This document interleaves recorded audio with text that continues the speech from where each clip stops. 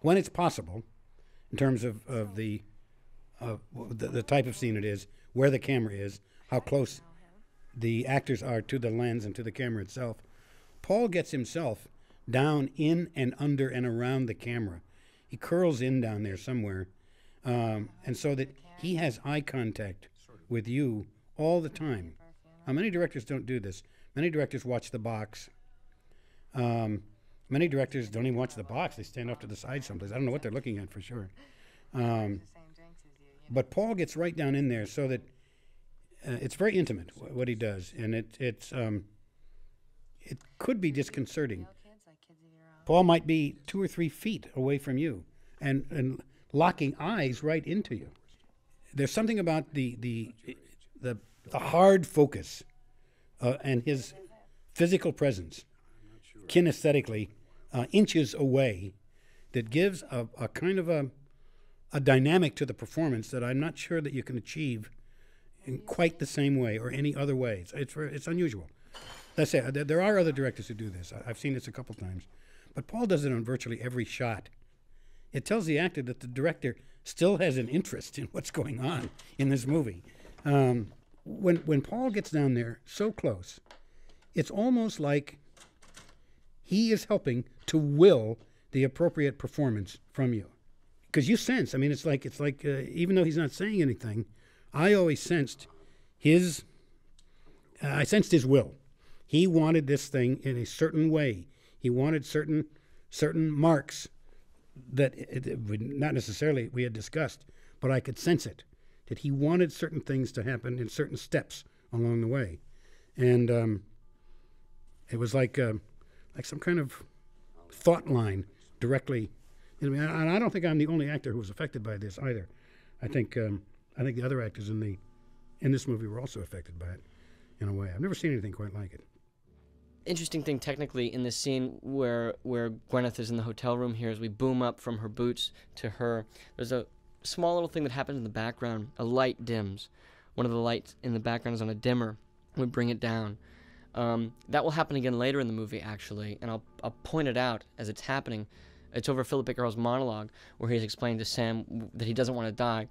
And this sort of very subtle sort of dimming of, of lights, I, I, I like to do, and I, I kind of did a blatant ripoff from from something that I saw in Silence of the Lambs. And one of this, in, was a scene with Jodie Foster and and and Anthony Hopkins, where they're in the background, one of the one of the source lights, one of the one of the practicals, just dims the slightest bit and I'd always thought I'd seen it, but then I started to think it was an optical illusion. When I listened to the audio commentary track of the Criterion version, I heard Jonathan Demme talking about it, and I was like, "Fuck, okay, good, it did happen." Because I thought for the longest time it did happen. I thought it was an optical illusion, and um, I, I've stolen it and just applied it in, in a couple times. I did it a couple times in Boogie Nights too. Just the smallest, subtlest little lighting cue that dims down that you know, can mean a lot to a movie, you know, if we wanted to talk real intellectually about it. But boy, it's just so small and cool, and you can just kind of do a small fucking stroke with it, you know? It's fun. And that, that happens over Gwyneth there. Um, as she's sort of touching herself and kind of feeling very self conscious and kind of preparing herself for what might come and asking, Do you want to fuck me? Now you really look at me as a piece of shit the framing here that happens with Philip Baker Hall and this this sort of way that I compose these shots is very influenced by The Hustler. There's a wonderful scene with Piper Laurie and George C. Scott when he comes in the room and he sort of attacks. He kind of comes at her and they have this big argument. And there's a there's a portion of him that's so dominating over her, and she's sitting on the bed, sort of just like Gwyneth is actually. You see George C. Scott's face in it, but but there's a sort of something to the composition that's so sort of dominating, you know, and just sort of terrifying. And you just, for me as a man watching it, just felt like every man, every asshole moment you've ever had as a man. I don't know, you know, it just it was very scary the way that the man was put over the woman, the way he was sort of attacking her, you know he pulled it off. I don't know. You know, he, uh, he he really pulled off the composition so that you felt like this the threat of the male waist. Like from from the neck down was this fucking like weapon somehow that was coming at Piper Laurie from George C. Scott. We did two masters, two two two masters that ran a full mag. I, John and Philip both were like, "Wow, what a luxury to run the scene all the way through." And I was like, "Wow, what do you mean?" And I was like, "Some directors don't shoot a master, or or don't shoot, or, or shoot it in such piecemeal that an actor never gets to run the scene from beginning to end." And I felt real like proud that you know like all right I, I i did good for the actors you know but but it wasn't like i was trying to like you know be the actor friendly director and then and then suddenly when he goes in the motel you kind of you go to movie land you go to um, the sort of the sort of rules of suspense you know which are um, you know as long as you cannot show them don't show them um, which I think is a pretty good rule. And maybe this, the concept of just holding on Sydney and John in their faces, uh, sort of it tries to stretch that rule really far. As let's watch them react, and then um, as they move, we'll move with them, and then move into the room. You know, so it's not so it's not taking it too too too far to a stylistic extreme. You know, it, it lets the it lets the sort of um, their movement be our movement into the room. You know, but while they're sort of standing there, we get to just kind of watch them and watch their faces. And you know, it's great. It's great fun to watch an audience. And this this goes. You could boil this down to besides any sort of cinephile explanation of of all this stuff it's fucking fun to watch an audience watch this movie and watch that section and watch them just go, "What? Show me, show me."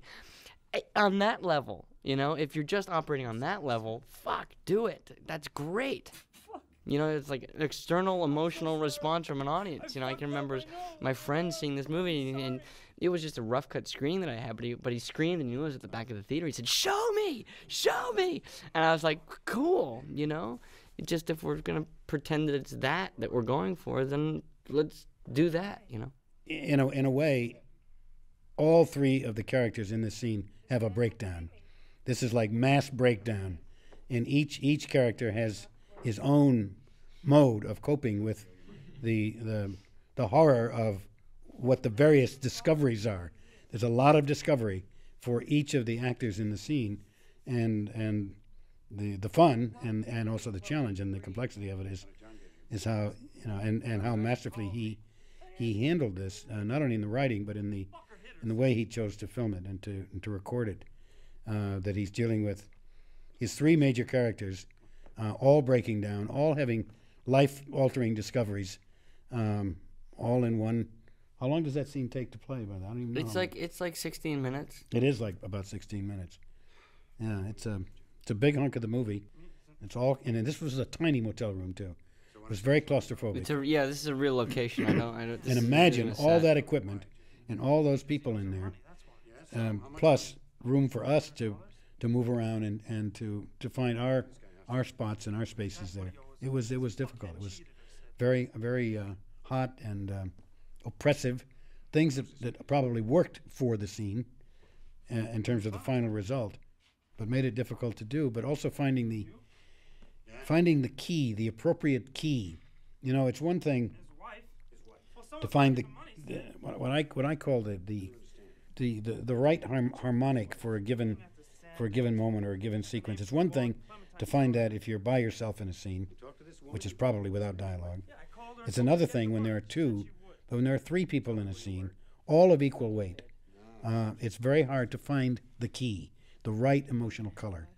A, a given actor's instinctive mode of of making these discoveries and then his subsequent breakdown, uh, an, an actor's mode of making these discoveries and and then his breakdown and his recovery would be one thing if there was only one actor there, uh, or if he were by himself. But with the three, the mix, it becomes very very complicated for each actor to find the right key for the moment. It's easy to get off tune in a scene like this, not because there are three people, but because there are three people of equal weight who all have huge tasks in the scene. We all have to make these amazing, amazing discoveries, and then we all have to, in our own way, fall apart with the discovery and recover, and and then come back together in some way. So there's, it's it's a huge, huge scene. Probably the most difficult scene uh, in the movie, I, I would say. Whenever I'm in movies, I always think about it. I used to direct a lot in the theater. Uh, I've never directed a film, and I'm, and the more I learn about it, I'm, I, I know that I never will. It's it's it's it's complicated beyond belief for for a, a simple theater director.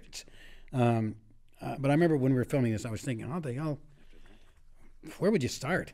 Where would you start? I mean, what? I mean, start maybe with the logic of what's going on, but then what, what responses do we want? Whose, whose face do we want to see? What reaction is more important than which other reaction? Mm-hmm. Which reaction advances the script? Okay, this one advances the script, mm-hmm. but this one inhibits the development of this character. Mm-hmm. So, I mean, it's like, whoa. It's like, in this kind of a scene, I mean, I don't, I don't know how you ever put it together, really. And with, with the fluidity, and I think everybody's character being properly served, the story being advanced, all this stuff is it's, it's miraculous, really, how we put this together. Because it's um, in the theater, it's very common in a lot of uh, theater pieces, um, uh, contemporary theater pieces especially, where each of the major characters has, as it were, a big scene, and we sort of see this coming. He's has his big scene, she's had hers. I wonder if that other guy, when when's he going to have? Oh, there it is. He's going to have his now. So we sort of anticipate. But what's wonderful about, to me, what's wonderful about the way this scene is structured, is that we're not, we don't get a sense of like, oh, okay, we're going to see John break down, and then we're going to see uh, Gwyneth break down, and then we're going to see Sydney break down. We don't get a sense that like we're going in sequence. Um, it's like each each one's going to have their big moment here. You don't get that sense at all. It's just like this thing is all just kind of flowing together. Uh, a million things can happen uh, that, that can that could throw it off, uh, that, could, that could throw it off track, or that could could ruin this this um, this invisible sensibility, this this um, fine tuning that we all had to each other. Again, act, acting is it is a mysterious business. Um, uh, and the better the material, the more mysterious I think it becomes in a certain way. You may go through a scene one time, but let's say a very emotional scene, um, where where a lot of a lot of stuff is required emotionally from you. But the third time you go through it, your emotional equipment may be operating in a way that it, it does not repeat the way it did the other time. It may go off in some other direction entirely. Now, you've got two other actors there who are waiting for not the line cue. Let's say that there are no problems with the lines. They're waiting for certain emotional cues. They have been trained in the previous rehearsals, the previous run throughs, to expect certain emotional cues along the way. Now, suddenly, you're off in a different direction. They're not getting those emotional cues. So now their work may begin to look false and empty because they were prepared for something that's not happening or something different is happening. So, and this is where a scene like this can really fall apart. And, and it can fall apart often to the degree that, that it cannot be resurrected. And then you, then you get into the question of temperament. And um, you get into some actors who, some wonderful actors who, um, a, as their as their technique or as their uh, ability to recreate emotionally what is essential in the scene begins to change or falter, some actors become very depressed or very angry when this begins to happen, and then be, and then really become incapable of maintaining this this through line that everybody else, including the director, has to have to make the scene work. So then that adds another thing to the mix. And then other actors then can be, begin to become resentful that the other actor is not giving them what they need to get through it. It can really get out of control. and um, uh, obviously here it did not. And I'm not, and I don't mean to suggest either that this was just three people who were all in love with each other who went up there and shot this thing in a perfect way. We did have some bobbles in this. We did have some falling down and getting up and dusting ourselves off and trying to restart. And I mean, it didn't all, it wasn't like all like, oh, it's great. What's the next scene? I got this one out of the way. Yeah. Um, this scene is the kind of scene that can make you old before your time because uh, actors can get out of control in a scene like this.